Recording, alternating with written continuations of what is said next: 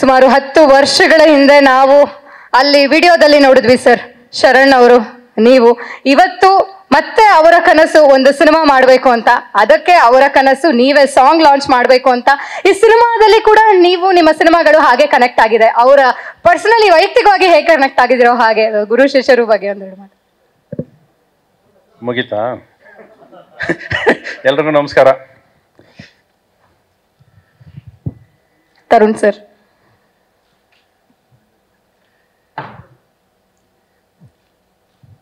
ಇವ್ನು ನೋಡಿದ್ರೆ ಹತ್ತು ವರ್ಷ ಆಯ್ತು ಅಂತ ನೋಡಿದ್ರೆ ಅವ್ರು ನೋಡಿದ್ರೆ ನಾನು ಹುಟ್ಟಿದಾಗ ಹಳ್ಳಿ ನೋಡಿದ್ದು ಅಂತಾರೆ.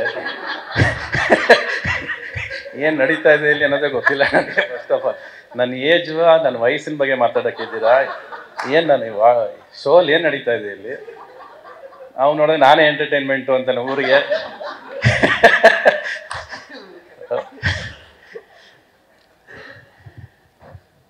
ಯಾವುದೇ ಒಂದು ಕಾರ್ಯಕ್ರಮ ಆಗಲಿ, ಯಾವುದೇ ಒಂದು ವಿಷಯ ಆಗಲಿ ಒಂದು ಅಂಡರ್ ಕರೆಂಟ್ ಬೇಕು ಫಸ್ಟ್ ಈ ಲಡ್ಡು ಸಿನಿಮಾಸ್ ಅಂತ ಏನು ಶರಣ್ ಅವರು ಮೊದಲನೇ ಸಿನಿಮಾಗೆ ಪ್ರೊಡಕ್ಷನ್ ಹೌಸ್ ಮಾಡ್ಕೊಂಡಿದ್ದಾರೋ, ಅದು ಕರೆಕ್ಟಾಗಿ ನೋಡಿದ್ರೆ ನೀವು ಒಂದು ಲಡ್ಡು ಅರ್ಧ ಕಚ್ಚಿರುತ್ತೆ.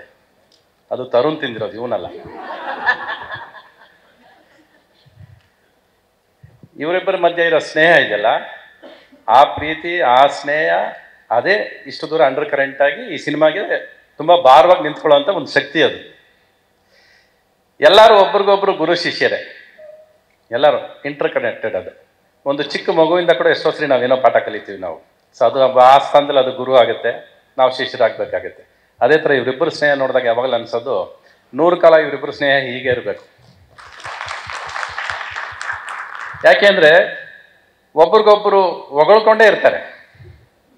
ನೀವು ನಾವು ನೋಗಳ್ತೇನೆ ಇವನು ಹೊಗಳ್ತಾನೆ. ಆದರೂ ಒಬ್ರು ಉಗಿಯವ್ರ ಮಧ್ಯ ಬೇಕು. ಅದಕ್ಕೆ ನಾನು ಅವಾಗ ಅವಾಗ ಬರ್ತೀನಿ ಅದಕ್ಕೆ. ನ್ಯೂಸ್ ಫಸ್ಟ್ ಪ್ರತಿಕ್ಷಣ ನಿಮ್ಮೊಂದಿಗೆ.